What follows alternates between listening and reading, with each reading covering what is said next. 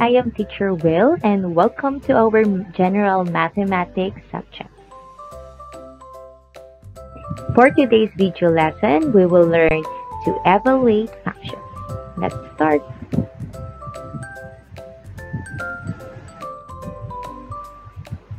Finding the value of x for most of you think is what mathematics is all about. Sometimes it seems to be a joke for you to evaluate an expression just like what is shown by this illustration. Find x and here it is. There. If you want to learn how to find the value of y, well then, you are on the right video. Welcome to your second module. Before we begin, let's try this activity. Do you still remember? Given the following expressions, find its value if x is equal to 3. Okay, try natin. Number 1, x minus 9. So let's, um, to find its value, let's substitute or replace the variable x into 3. Yeah. So we have 3 minus 9 and that is equal to negative 6. Okay, number 2 naman. Ayan. 3x plus 7. Let's replace the variable x with 3. 3 times 3 plus 7. That will give us 9 plus 7 equals to 16. Okay. Next, yung number 3 naman. Yan. We have x squared plus 4x minus 10. Let's replace variable x with 3. We have 3 squared plus 4 times 3 minus 10. And that will give us 9 plus 12 minus 10. And that is um, 21 minus 10 equal to 11. Ayan. So, ganun na kasimple. Kung sa tingin ninyo kayang-kaya nyo itong process na ginawa natin dito, then this module will be easy for you. Function comes with different forms. And before tayo mag-proceed sa discussion natin, review lang muna natin itong mga iba't ibang types of function na may encounter natin in this module. Okay? Constant function. Ayan. Pag sinabi natin constant function, it is the function that has the same output value no matter what your input value is. Ayan. So, constant lang po siya lagi. Kahit ano pa yung input mo, always same lang yung output natin. Next naman is identity function. The identity function is a function which returns the same value which was used as its argument. Ayan. So, kung ano pa yung ginamit nating input, yun din ang lalabas na magiging output natin. Same value lang sila lagi. Kaya siya ginawag na identity function. Ayan. And itong polynomial function naman, I know fami very familiar kayo dito. At meron tayong tatlong klase ng polynomial function. We have the linear function, wherein um, the degree is 1. We have the quadratic function, wherein the degree is 2. Then, cubic function where our degree is 3. Yan. Then, power function naman natin, it has this form, ax raised to b, wherein b is constant. Actually, parang itong mga polynomial function natin is like a power function as well. Yan. Rational function, exponential function, logarithmic function, which will be discussed later on we have the absolute value function in this form and we have the greatest integer function which is in this form. Yes, let's proceed with our discussion. The function notation y is equal to f of x tells you that y is a function of x. If there is a rule relating to y to x, such as y is equal to 3x plus 1, then you can also write this. Yan. So, yung y natin is equal to f of x. So, we can also write y is equal to 3x plus 1 as f of x is equal to 3x plus 1. Yan. So, yung name ng function natin ay f. So, other letters ay pwede rin pong gamitin as name of function. Pero yung pinaka-common na talaga na ginagamit natin is f, sometimes g, and h. And so yung input natin is represented by x and the output is represented by f of x. And again, this represents the value of our function at the number x. So ano nga ba ang evaluating function? Evaluating function is the process of determining the value of the function at the number assigned to a given variable.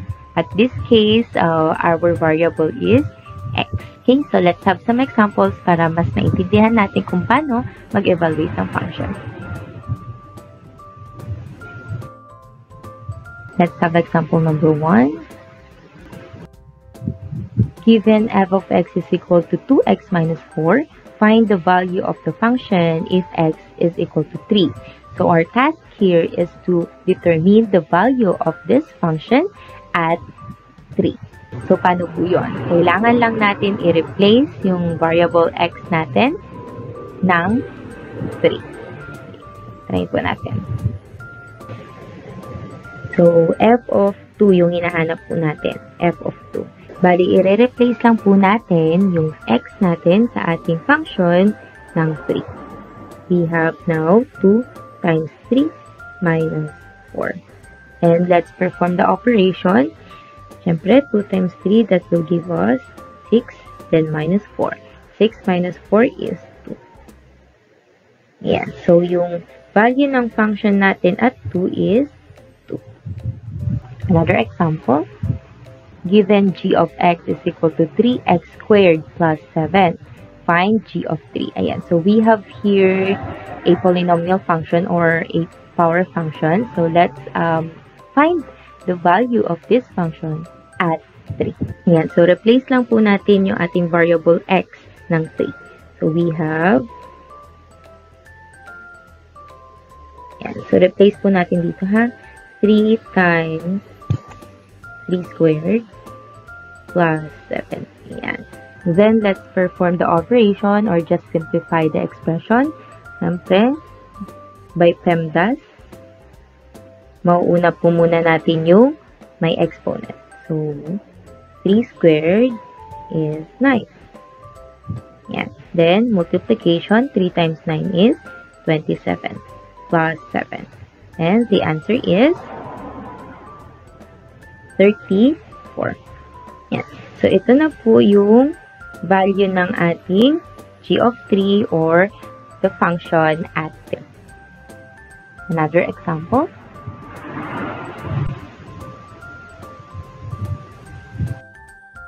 Example number 3, given p of x is equal to 3x squared plus 5x minus 2, find p of 0 and p of 1. Ayan. So, ibig sabihin lang po nito, hahanapin po natin yung value nitong function natin at 0 and at 1. So, try po na muna natin ang p of 0. Ayan.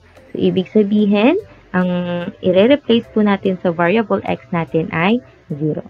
So, we have 3 times 0 squared plus 5 times 0 minus 2. Ayan, perform the operation.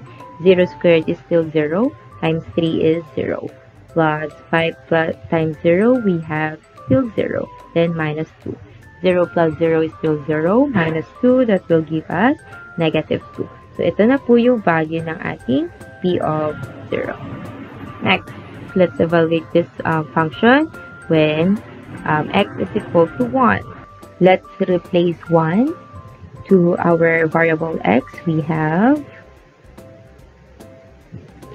3 times 1 squared plus 5 times 1 minus 2. And Simplify the expression. 1 squared is still 1 times 3 is 3 plus 5 times 1 is 5 minus 2. Okay. 3 plus 5 is 8 minus 2 that will give us 6. Ayan. So, yung P of 1 po natin is 6. Ayan. So, ganun lang. Another example. Given f of x is equal to 4x plus 8 all over 2x minus 4, find the value of the function if x is equal to negative 5. Ayan. So, uh, to evaluate this function, kailangan lang natin i-replace again yung mga variable x natin to negative 5. We have 4 times negative 5 plus 8. Yes. All over 2 times negative 5 plus Perform the operation. 4 times negative 5 is negative 20 plus 8. All over 2 times negative 5, we have negative 10 plus 8. Then, let's add negative 20 plus 8. That will give us um, negative um, 12. Tama? And negative 10 plus 8, that will give us negative 2. Ayan. And negative 12 divided by negative 2, that is negative, uh, positive 6. Ayan. So, f of negative 5 is equal to 6. Another example.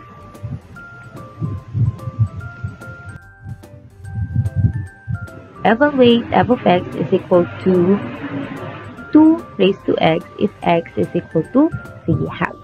Ayan. Substitute lang ulit sa ating x. We have